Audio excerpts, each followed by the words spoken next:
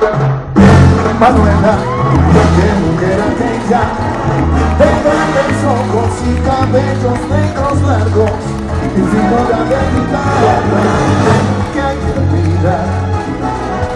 Manuela, ay que hembra tan bella, de risa coqueta y de cintura pequeñita, y de piernas criminal, que es tanto sensual.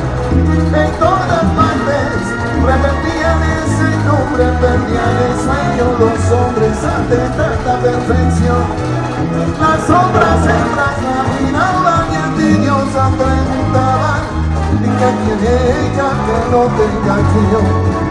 Pero Manuela, como una pantera, en cada esquina de aquel barrio iba dejando pedacitos de ilusión, de amor.